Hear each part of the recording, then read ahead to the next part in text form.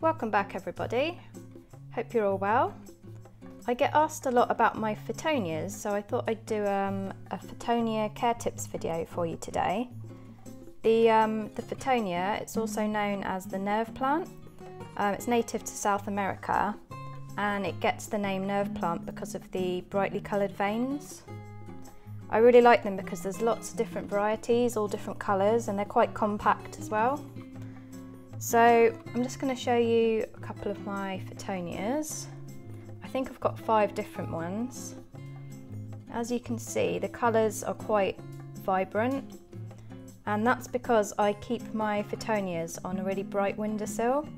So they can tolerate a range of light conditions, so they can tolerate medium light and even low light I think, but the brighter spot that you put them in, the brighter the colours are going to be. In regards to watering, I just water my Fittonias as required.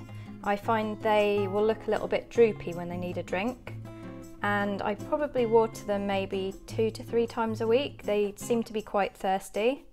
I've got them in well draining soil and that's a mix of um, compost, peat moss and perlite.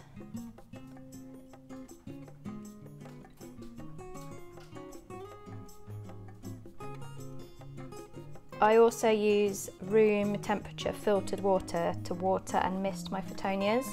I mist them maybe two or three times a week because they like um, high humidity and warm temperatures.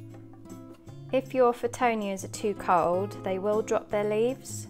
So it is really important to keep them away from drafty areas or any cold windowsills or anything like that.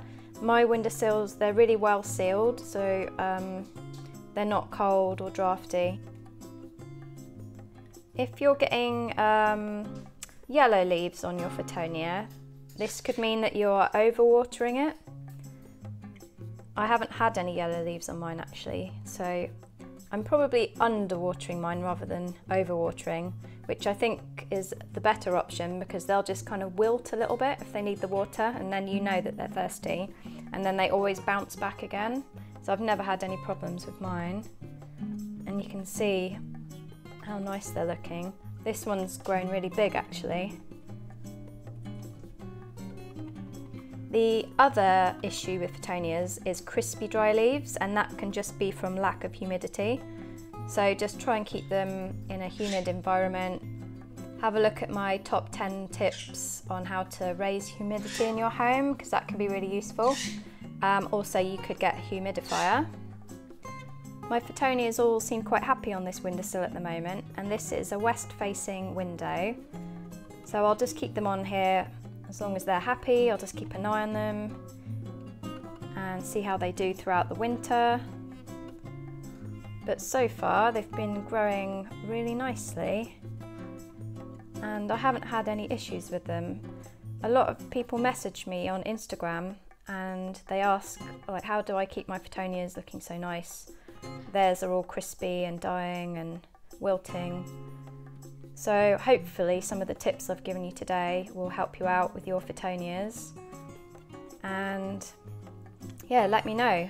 Have you got a Fittonia? How's it doing? Have you had any issues with it? Have you got any tips for anyone else? Um, thanks for watching.